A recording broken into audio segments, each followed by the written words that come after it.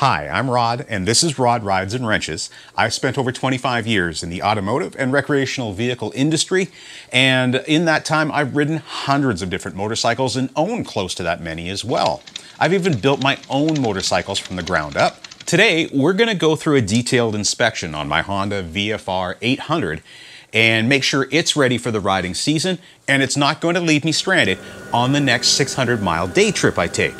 Now, you may think that your motorcycle is ready for the riding season, but is it? Are you sure? Follow along with me as I go through my checklist, and that way you'll know for sure. This will also be a great reference if you're looking to purchase a used motorcycle from somebody and you're going over to check it out. Hey, yo, what are you talking about? That's no oil leak, that's just sweat from all the horsepower.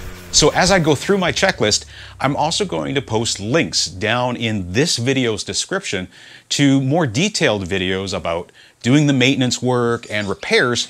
So anytime during this video, you can scroll down to that description area and get the detailed information to make sure your bike is ready to ride. Today's video is sponsored by Bikers Run, the new online store for bespoke motorcycle tools, parts, and accessories. More unique parts and accessories are being added daily, so check it out and check back often at bikersrun.com. So we're going to start at the front of the bike, and what better place to start than with the tire. There are wear indicators in the tread of your bike's tire, and if they're in contact with the pavement, it's time to replace the tire. The depth of the tread should be no less than a 16th of an inch or 1.5 millimeters. I get a lot of questions about tires and age or the alleged expiration date of motorcycle tires. First, I want to make an absolute statement here.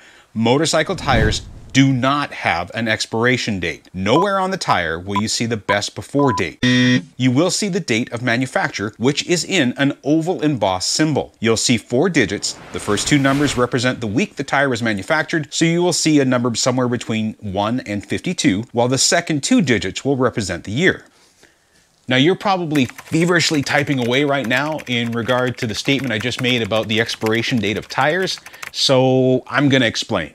The industry recommended standard for the age of a tire is six years. This is an arbitrary number decided on by tire manufacturers, not any sort of oversight or government safety agency. Just like the helmet industry, who says you should replace your $1,500 piece of GP every five years, the tire industry thinks it's a good idea for you to buy new tires for your bike every six years regardless of how many miles are on them. Now, tires, or more specifically the rubber in the tire, can suffer from oxidization, and the moisture in the rubber can be pulled out of the compound if the tire is stored improperly. An oxidized tire will wear quickly and offer limited grip since the compound can become brittle. If you ride aggressively on an old tire, it probably won't stand up to the heat cycle. This being said, I've taken some older but unused tires and thought they were questionable and run them through a few heat cycles on the road and gradually got them back to a grippy and solid road handling rubber.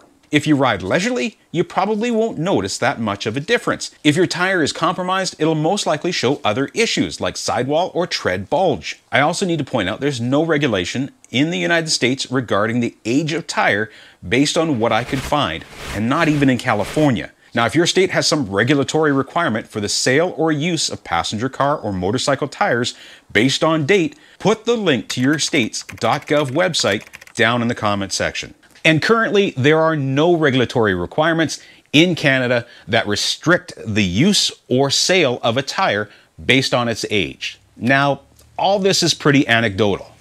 Now, I personally have never had a tire on a bike that lasted for six years of constant use.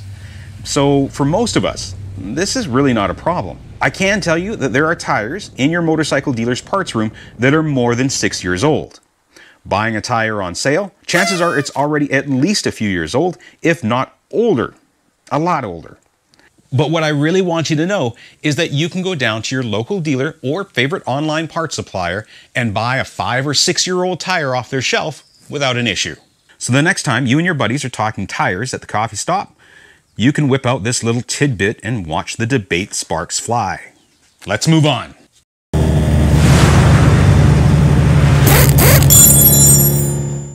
So what I really want to talk about is tire wear and pressure. A lot of riders will run their bike with a cup tire and thinking that there's still tread left on the tire, it still must be good. A cup tire is one that has a flat spot in the center section of the tread, and the tire has built up shoulders that actually prevent it from leaning the bike properly. A cup tire makes your bike handle like shit and it can't properly navigate a corner. If you have a cup tire, you probably don't lean your bike much in a corner anyways. Or maybe you ride roads that don't require you to lean the bike to navigate them. And that might be fine until you come to a road that has a sharp bend or high speed corner and now you're f***ed. Here's an example of a tire on a bike I found on a day trip. The rider was 1,600 kilometers, or roughly 1,000 miles from home, on his trip with his buddy. He had no idea what sort of riding he was going to put his bike through on the west coast and in the Rocky Mountains. Now, you can cup a tire in a couple of thousand miles pretty easy if you don't learn to use the rest of your tread on your tire. So, if you don't get into the corners much, you can expect to change your tire more often. When you do replace that cup tire, you may want to buy a tire with a dual compound with more center tread reinforcement. A Metzeler Roadtec K or C version is an example of this. They cost a bit more, but will last longer than a standard motorcycle tire. Whatever you do, don't ride with a cup tire. Now, one of the contributing factors to a cup tire can be underinflation. Your tire will lose pressure every few weeks as the air molecules seep through the pores in your cast wheel. You should check your tire pressure every couple weeks and for sure before you go on any extended ride. By now, you should know that the ideal tire pressure for your bike is usually on a sticker either under your seat or on the rear tire guard or in your owner's manual. As you can see, I already have the wheel lifted off the ground. If this isn't the case for your bike, use a paddock stand, scissor lift, or if your bike has a center stand, have a buddy hold down the rear of the bike or find some way to weight the bike down at the back to lift the front wheel off the ground. Spin the wheel and look for a few things. First, listen to if there's any abrasion, grinding, or whining noise coming from the axle area. This most likely would be due to a bearing issue or dragging brake pads. The wheel bearing usually lasts a long time, but if you ride in a lot of water, mud, or like to elevate your front wheel from time to time, this can result in a bearing failure. Don't wait to change a wheel bearing. Change it as quickly as possible. Again, there's a link in the description of this video that'll show you how to do just that. A dragging noise that sounds like an old LP record skipping is a pretty clear indication the rotors in your front wheel are warped. If you look down the front of the tire, you may be able to see the rotor move out of center and then back as the warp moves around the rotation of the wheel. The only way to fix this is to replace the rotors. You may want to check your rotor width with a caliper while you're here to make sure it's within spec for your bike per the factory manual. While you're spinning the front wheel, check the rim for dents or trueness. A spoked wheel can come out of true, and the wheel will appear to walk from one side to the other. Hitting a pothole or curb can dent your rim lip, and you'll see the rim flare out in that spot easily when standing over the tire and spinning the wheel. Excessive noise can also be from the brake pads. If the pads are dragging on the rotors, this will indicate the pistons are not retracting properly. And at minimum, you need to clean the exposed parts of the piston and caliper. At most, it's time to rebuild your calipers and replace those seals. Take a look at the brake pads. If the pads no longer have any grooves that are visible in them, they are worn out. Another indication of worn pads is fluid level. Now, a lot of riders like to top up their brake fluid on their master cylinder, but if the brake fluid is down in your master cylinder, it's an indication that your pads are worn. While we're talking about brake fluid level, remember that you should only fill your brake fluid reservoir between 80 and 90% of its capacity, never completely full. The fluid needs room to expand when it heats up. If your brake fluid is not clear or clean, it's probably time to replace the fluid. Brake fluid absorbs moisture, and this reduces the boiling point of the fluid, and when it turns brown and gooey, it's not good. If you have a hydraulic clutch, be sure to check the fluid in that reservoir as well.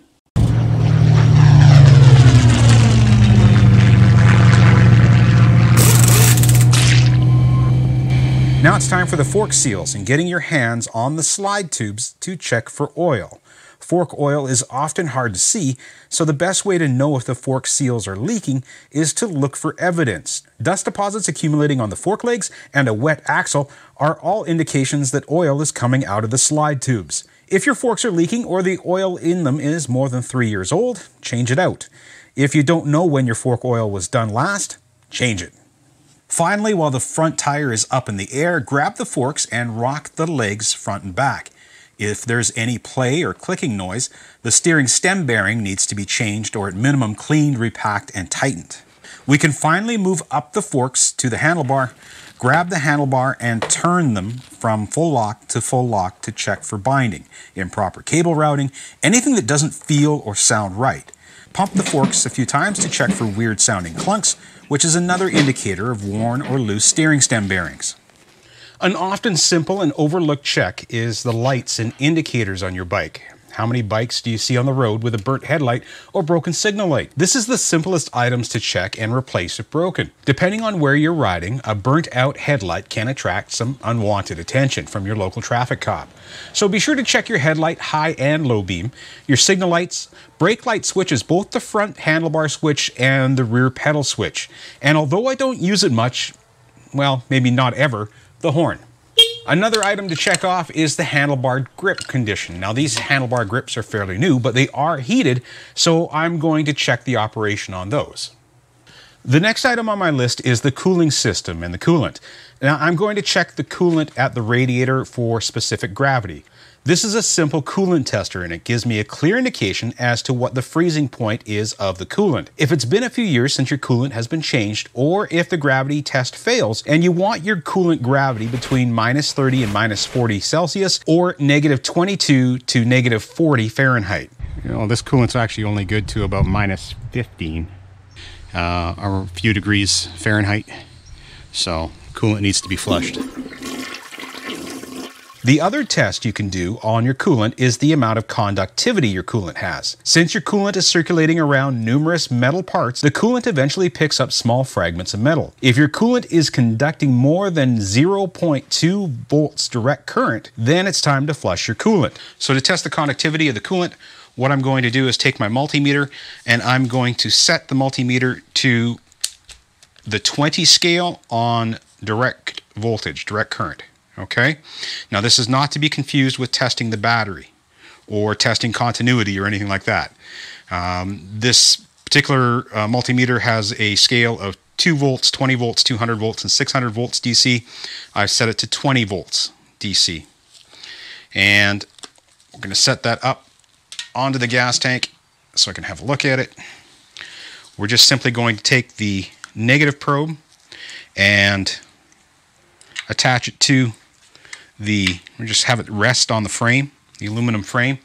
The other probe, we're just going to stick down into the coolant in the radiator. And what we have is 0.07 volts. So that's okay. But the freezing temperature of the coolant is not where I want it to be, so we'll have to flush that coolant anyways. Neglecting your coolant will lead to a cooling system failure and corrosion inside your radiator, engine, and coolant pump. Check the coolant hoses for cracks or hardness and the hose clamps for general condition and leaking. If a radiator hose is showing signs of wear, replace it. Next is another often forgotten but critically important component to check, the air filter. A dirty air filter will result in poor performance and excessive fuel consumption. Left unchecked, a dirty air filter will eventually stop your bike from running since without fresh air, there's no combustion. So this air filter is still in really decent shape, uh, cleanliness wise. All we're gonna do is uh, shake it out, put a little more oil in it and put it back in. So some people comment about the fact that I like to use K&N air filters and everybody has an opinion about what's right or wrong with them. I don't really care other than the fact that I have the ability to service my K&N air filter without having to go to a parts store and order up a new air filter. That's the reason I use them. I have the time to wash them, oil them, let them dry. Your local dealership, the technician there will absolutely hate you if you have one of these, and he won't service your air filter. So if you're not going to service your air filter yourself, stick with a paper element. Ready to go back in. While we're here, we'll take a look at the air box itself make sure there's no debris in it, nothing that shouldn't be in there. And so far everything looks good.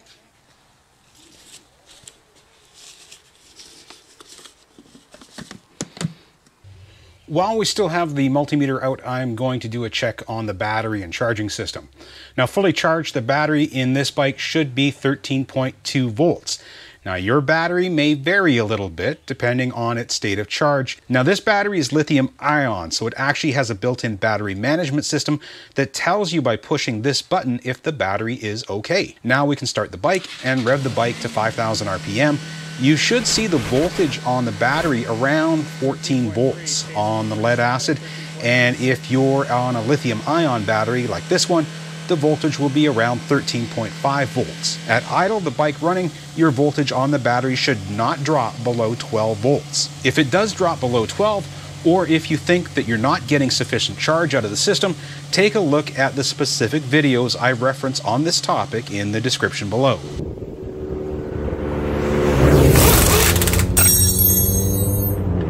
So now that we've had our engine running to test the charging system, I'm going to change the oil and filter on this bike. Whenever you change your oil, make sure you're using an oil designed specifically for motorcycles. These oils don't have friction modifiers that can affect the wet clutch in your bike. Most motorcycles, not all, use a 10W40 multi-weight oil, which is not something you easily find in the automotive section at say Walmart. I like to use these high flow or K&N racing filters since they use a 17 millimeter hex fitting that makes it easier to install and remove them. 17 millimeters is also the size of the drain bolt on about 90% of motorcycles, so you only need one socket or wrench to get the job done. A couple of tips for changing oil. Put some oil in your filter before putting it on your bike. I fill my filter up at least halfway. This way, when you start the bike for the first time, the system's not waiting for the filter to fill up with oil before circulating. Now this may not be a big deal if your oil is filtered after circulating through the engine, but for example, a twin cam Harley Davidson, the oil ran through the filter before it went through the vital components on the engine. So if the filter had to fill up with oil first,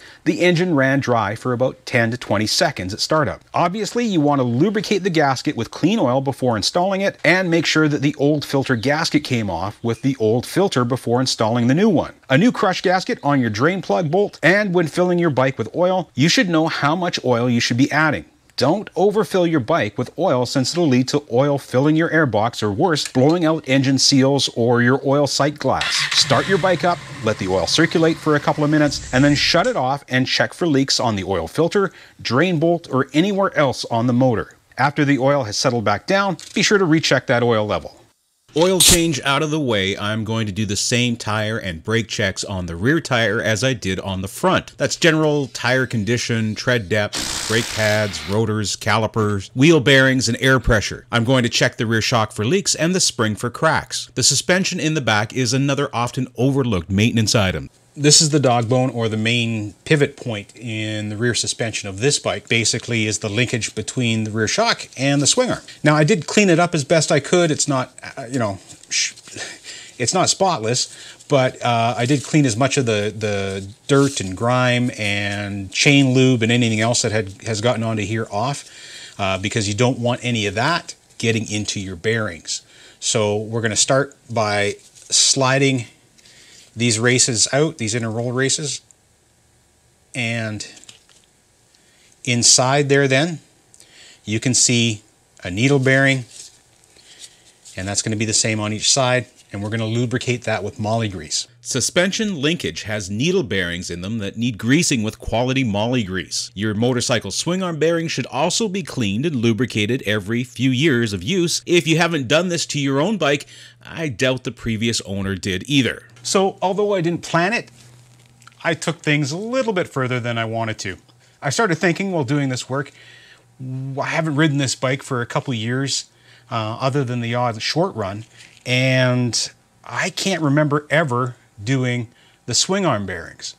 Now this bike does have a single-sided swing arm, and I did take the hub all apart and clean that out and grease it up um, shortly after I got it because I was very conscious of the fact that there's some expensive bearings back there. I didn't take the whole swing arm out. I didn't take the suspension linkage off the bottom uh, here in the back. So that's what we're doing today. So we got to these bearings in time. Uh, they seem to roll pretty good. So we'll just repack them with grease and put them back in the bike.